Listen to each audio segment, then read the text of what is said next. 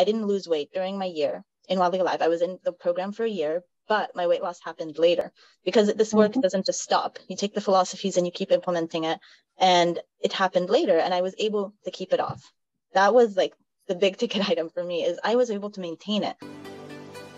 Hey, it's Nichole Kellerman Worth, CEO of WildlyAlive.com, where we help women get on the same team as their bodies so they can feel and look their best. When a woman realizes how badass her body is, she feels alive and is no longer afraid to create the life she's always wanted. I know this to be true because it's happened to me and thousands of our clients. Welcome to the journey of getting on the same team as your body. Hello, sisters. So, as we continue this month talking about why I have shifted and started talking about weight loss again and having a really candid, honest conversation around this term weight loss.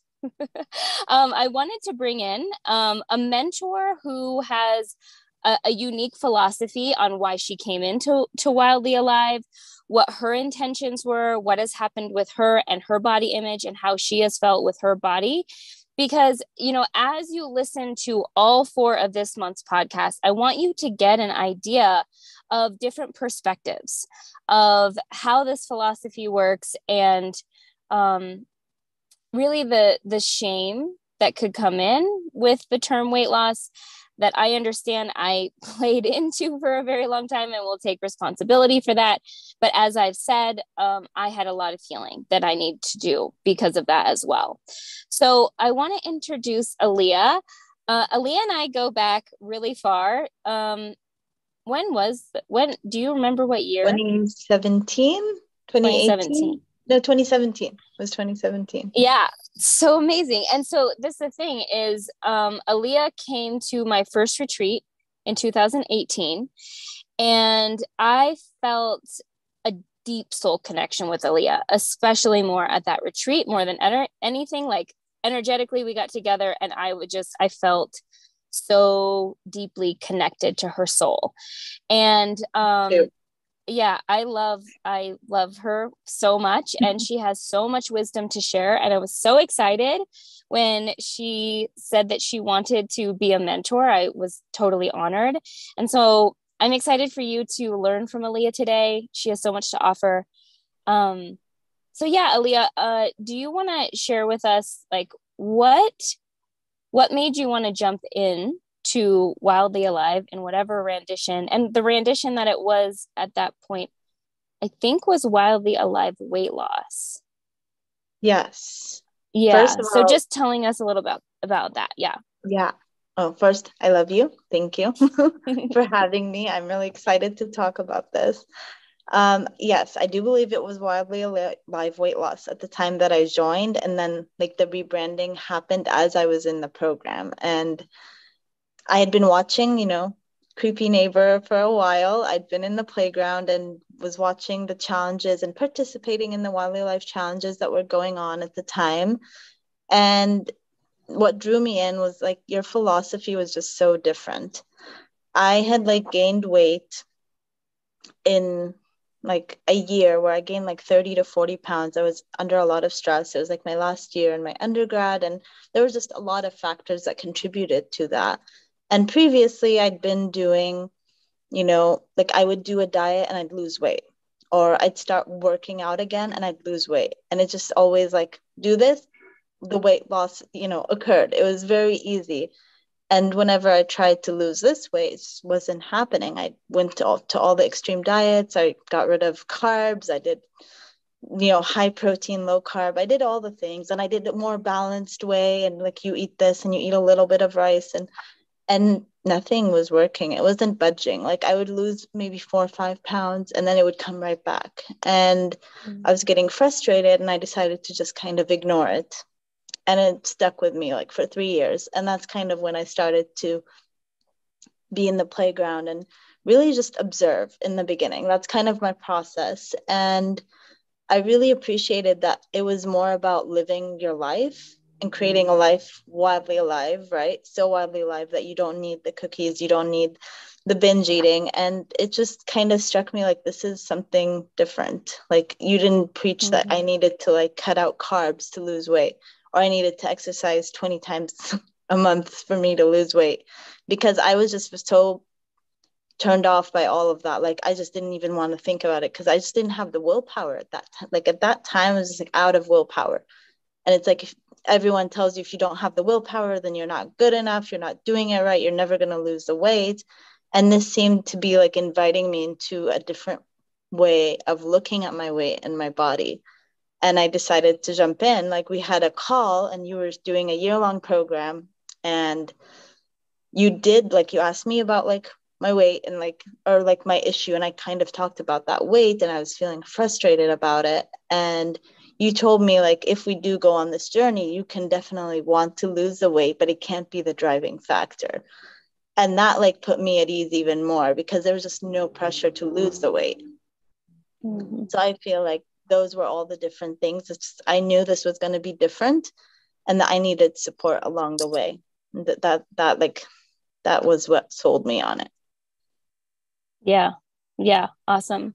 And i think you know like this has been like the perpetual theme with this month's podcast is the desire can be there but you know having it be something that you need to be happy that's where the problem lies. That's where my problem lied when i was in that place too is yes i did lose weight like that was very clear. I did it through a very masculine diet culture approach but I thought that if I lost weight, then I would be happy. And so my unhappiness was driving the motivation to lose weight. And this is the problem because an unhappy journey never results in a happy ending. And yes. so when you can release this intense desire to lose the weight it's you start to loosen and you start to also realize that life can be good and i can be happy even if my body doesn't look a certain way because i lost the weight through my unhappiness.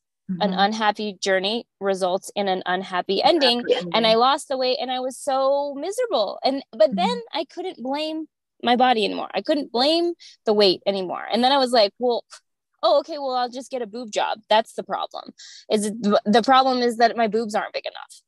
And so then i did that mm-hmm. and i still wasn't happy you know? And so like this feeling that you had coming into the wildly alive world where you realize that weight loss is a byproduct of being in this container but it's not something that is heavily force. There's no weigh-ins. There's no before and after pictures. There's none of this yeah. like weight focus. Mm-mm. when yeah when you release that is when you can step into philosophies that feel body set body centered philosophies that feel really good and there's not this like expectation. Because i mean i don't know. Like expectation seems to really mess it up. Like think about relationships and and things and having this like high expectation for something to happen in a certain amount of time nobody yeah. likes that kind of pressure no you know it, it like doesn't your, work your it pushes it away i right. feel like expectations a lot of the time like yes have the desire but if it's too strong it really just pushes it away mm-hmm. if it's mm-hmm. the only thing that you can focus on without releasing the pressure on it right Right. So, okay. So then take us through your wildly alive journey from there, um, like with your body and, and things like that. Okay. So, as I said, I gained like more weight than I had, had ever gained in my life, and I was at a much heavier place. But through my journey, like in Wildly Alive, I learn to just kind of get back into who I was and what I enjoy and focusing on myself while not really thinking about the weight anymore. So it allowed me time to just love my body for what it was doing for me. Mm. And I do have some like health issues. I I have um, a weak right hip because of a lot of surgeries that I did as a child and so i always knew that like keeping the weight like that's what doctors told me like you can't be too heavy you can't be too heavy it's too bad for your joints right so there was that play in my mind um, but I never like shifted the focus of like how can I care for my body because it's good for me because it'll make me feel strong because it's going to allow me to mm. enjoy movement for all my days into like my old age and that I won't need like a total hip replacement surgery like what my doctors told me. And so, you know, grounding into that and really just looking at caring for my body and not how much it weighs or what it looks like for the purpose of just really loving myself and taking care of this body that I was blessed with in whatever shape or form that it is helped me transition into okay like i can add in some movement. I love the piece about just like adding in 10 minutes of movement. It doesn't have to be extreme. Baseline goals set it you know eye rollingly mm-hmm. easy like three times a week 10 minutes that's fine. And with that you slowly gradually build it up because you start to enjoy the movement. You start enjoying like feeling like i have so much more energy.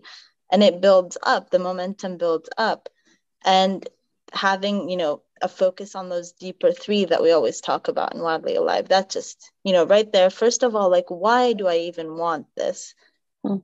losing weight is a part of it but why do you actually want to like lose this weight? Like what is it good how is it good for you in all aspects right?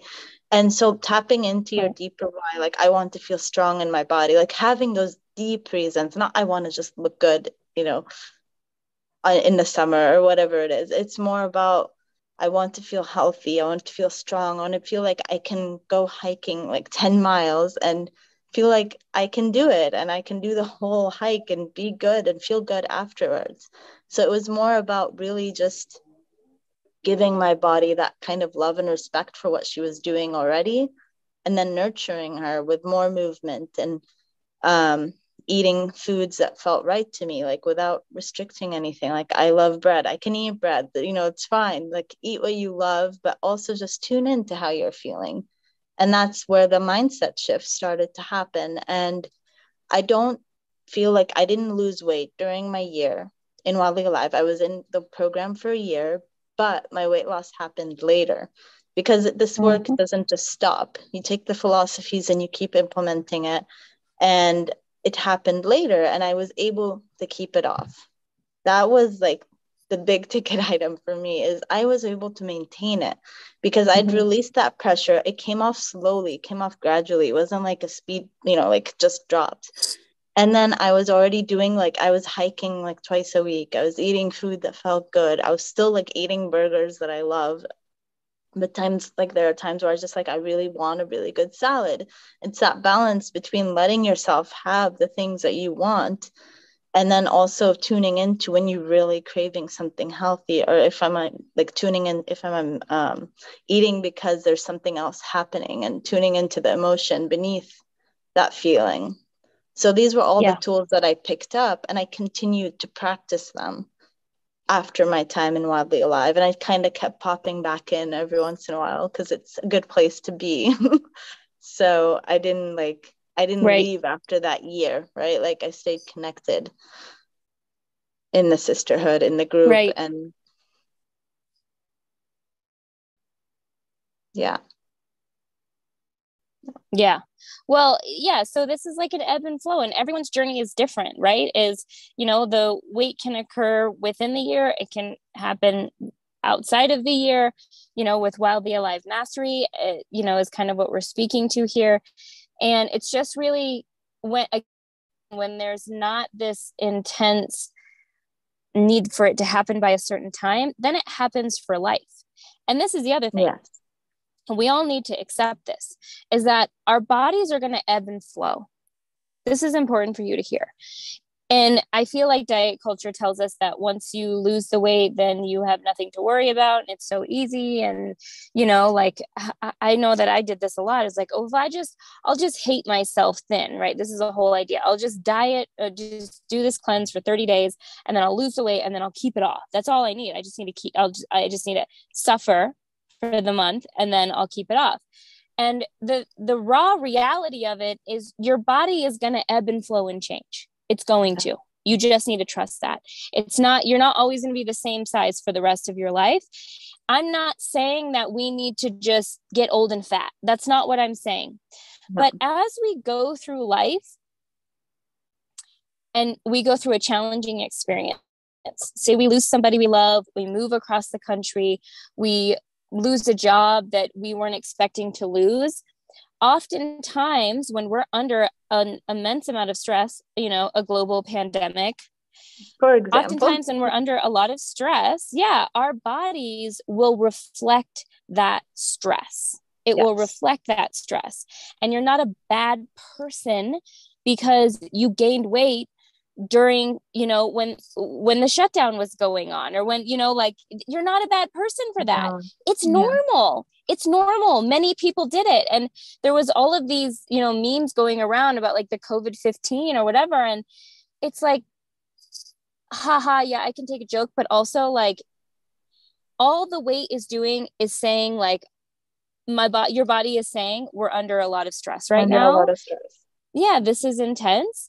And to me that oh, I appreciate about because for if women in the wildly alive container, it shows up on our body. Okay.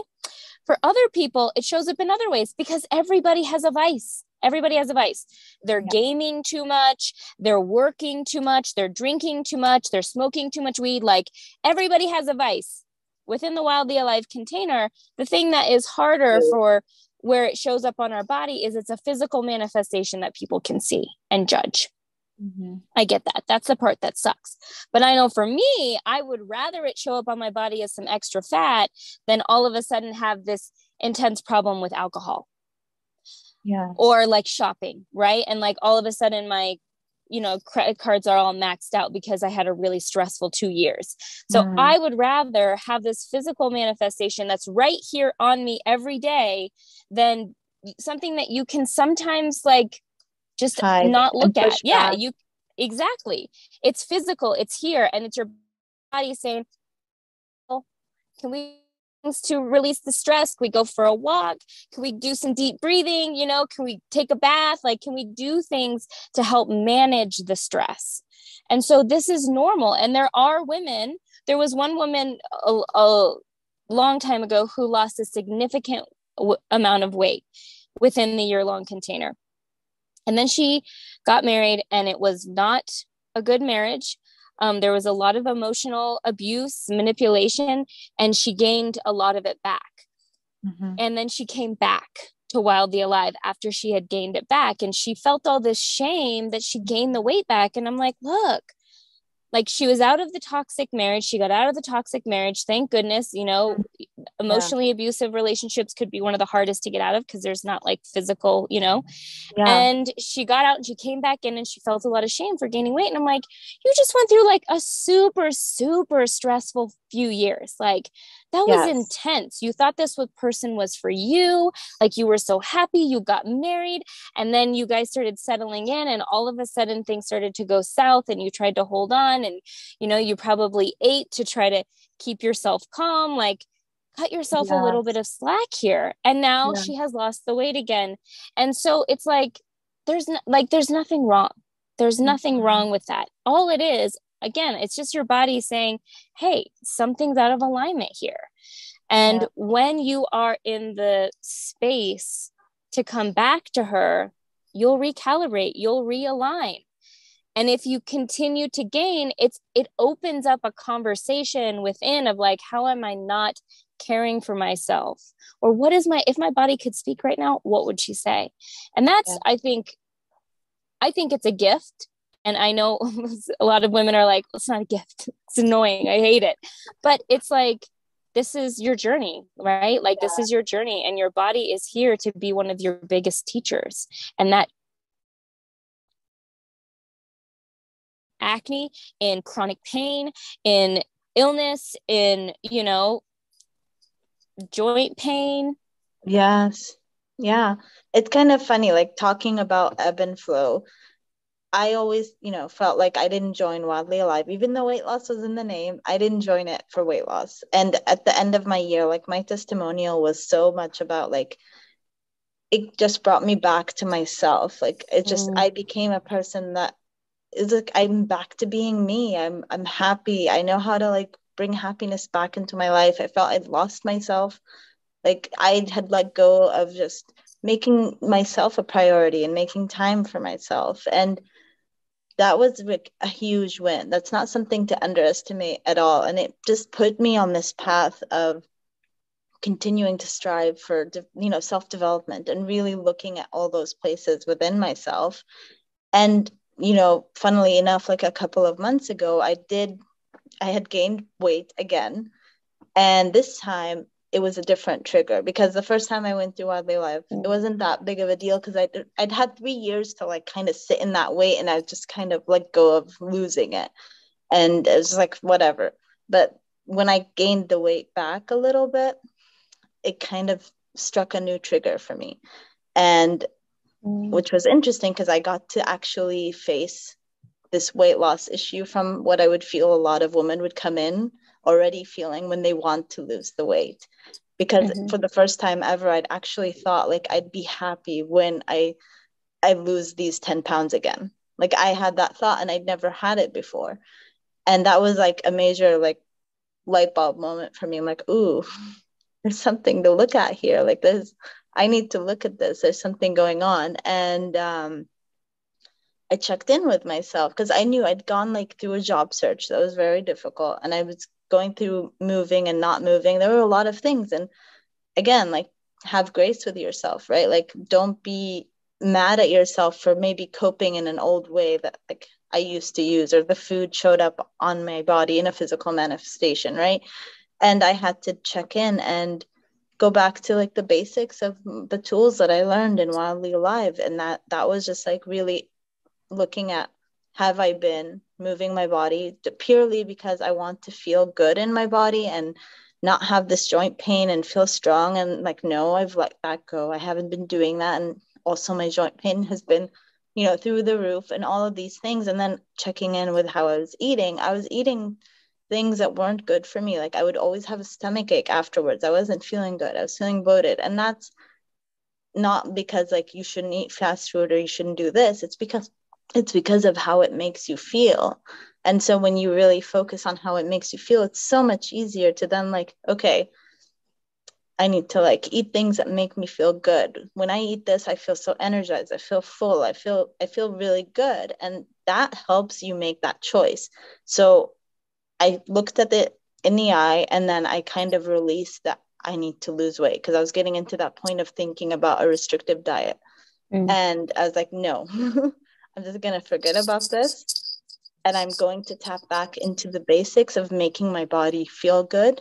And I have not like weighed myself, but I've been moving. I've gotten back to moving in ways that I love. Like I love dancing, I love walking in nature, doing the things that I like to do. I don't like gyms, I never have. And now I never have to go to a gym if I don't want to. Like that's the thing. You don't have to do a specific thing. You can do the things that feel right to you. And then I just started focusing on eating in ways that nourish my body. And kind of the theme for this month is nourishment. Like I consider what I'm going to eat is this going to make me feel good? How will I feel after? Is it going to give me energy? And like when I think about it with intentionality, that helps me make the choice of what I want to eat. And I'm still eating rice, I'm eating bread, I'm eating everything. It's just more of how can I really be intentional and while I'm eating, be a food lover. And so doing that in the last month, I felt better. Like I've said, I haven't weighed myself, but I am feeling better. I've released that again. And that was like, that was a major win for me is just to get to okay it's okay like i am moving my body again i'm doing yoga i'm feeling good i'm stretching my joints and my legs and i feel stronger and that's the important thing and I'm pretty sure that I have lost some of it at the very least just because of how I feel in my clothes, but that's not even the point, right? Like the the gain was mm-hmm. really like just stepping back into how I'm feeling in my body and that was it. Is I wasn't feeling good. And that right. was the main thing. Right. It's like so simple.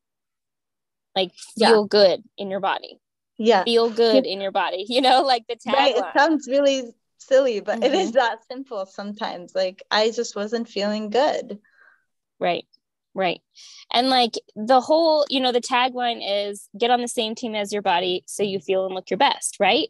And so the thing about that is it's kind of multi-layered is that the truth is is that when you feel good, when you feel good, and we've all had these moments where maybe we go and get our hair blown out or we just get a manicure or we get like this outfit that we've always wanted. When we feel good, we look good. It's an energy. Oh, yes. Oh, yes. It is an energy. It is not an actual size of your body. And we've seen this all the time. And we talk about this in the My Body Rocks class, which is all about like women's relationships with their bodies, is we can walk down a street and we can see a woman who is not like the standard of beauty, meaning white and thin. We can see her walking down the street and she is like rocking it. Like mm-hmm. she is rocking her curves and she is flaunting it and she is just, mm, mm, mm, and you're like, what? Like you take a double take. You're like, oh my gosh, like what? Like I want some of that confidence. Damn, yeah. she looks so good, you know? And then we can see another woman who is like really the standard American beautiful size, who's thin and tiny and she's walking around with her head down and she's insecure and you know like she doesn't feel good she doesn't look good right yeah. it is an energy but then again like another piece of that like again like in the back seat is like as you feel good in your body and you it, you feel good and you look good then if your body is designed if your body is holding more weight than it's comfortably having then you will release it it will release eventually yeah. and so it's like you know you were really speaking to that is like what i was really shooting for was feeling better. The weight helped me realize that I haven't been eating in ways that make me feel good. Mm-hmm. I had a stomach ache every time I ate, you know? And so, again, like, this is why I say the weight is a gift.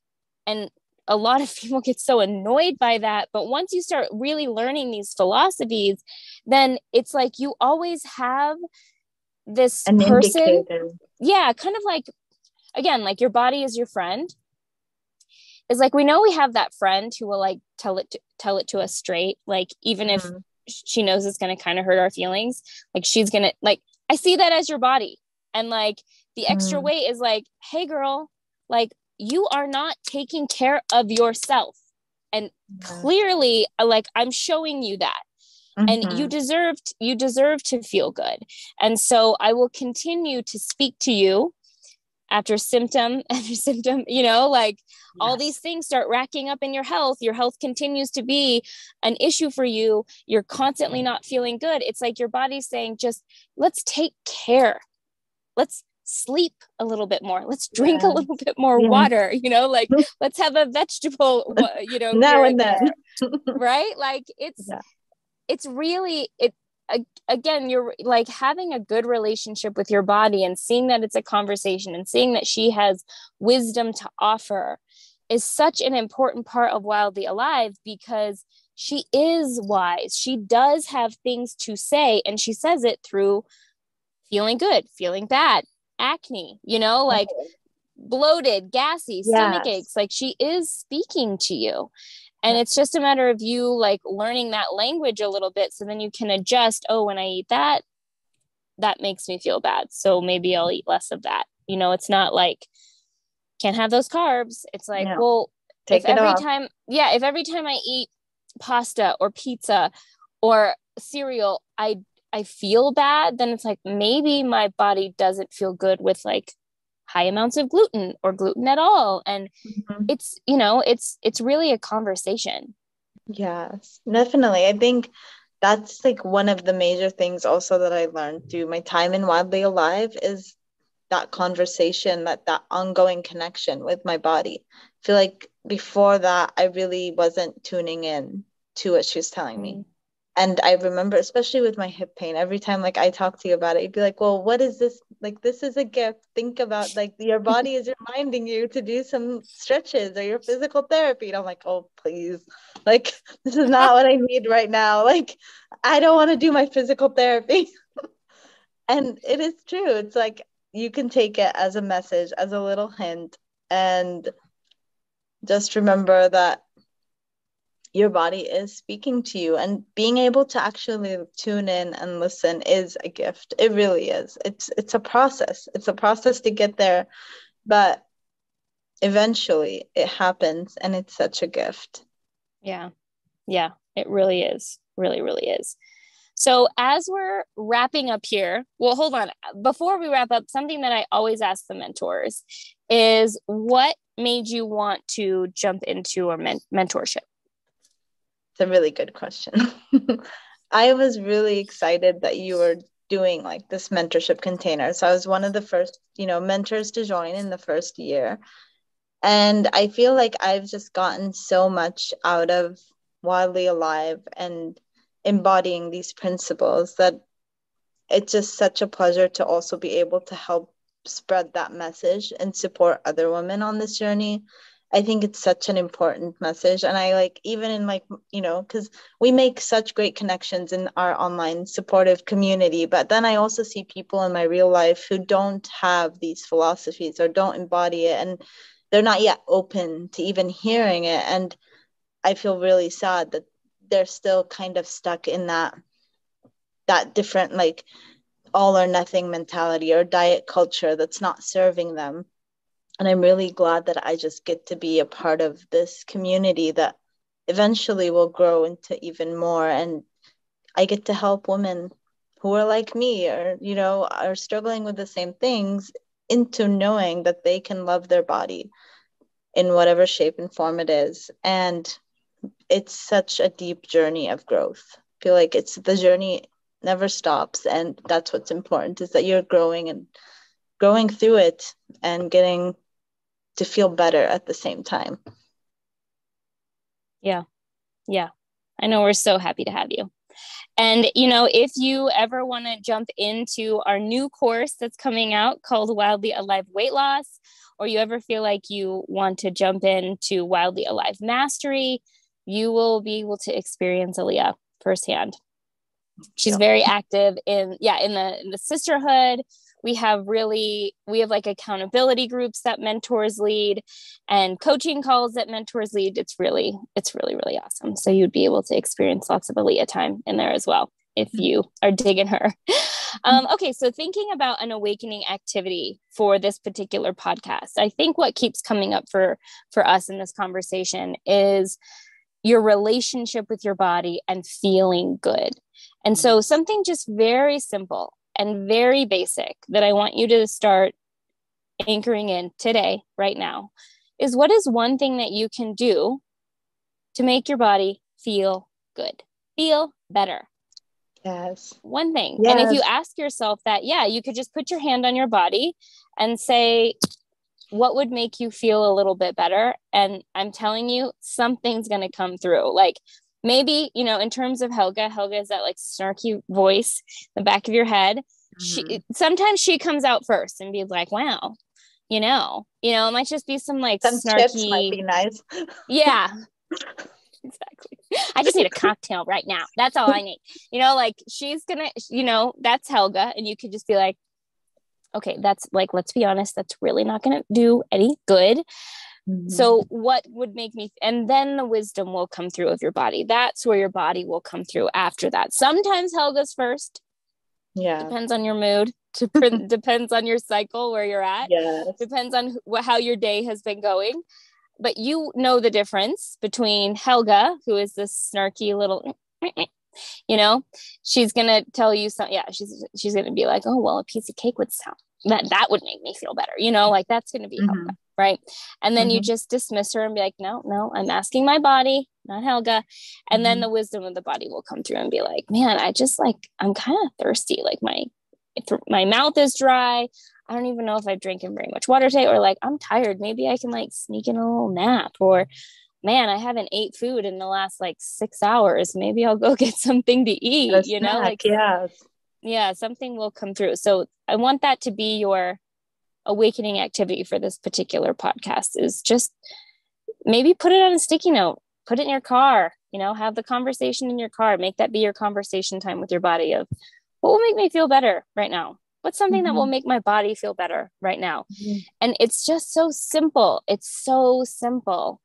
and like that's that's the end goal as Alia was saying it's like it really can be that, simple yeah Right. that it can be simple hmm exactly so any last last words Alia? Um i say like if you're at all interested it's really such a great place to be. I'm just going to say that like the support in the sisterhood is amazing. The support of Nichole the support of the mentors we're all here for it and it's a journey unlike any other. It truly is. It's just it's a great place. Yeah. So. I agree. I agree.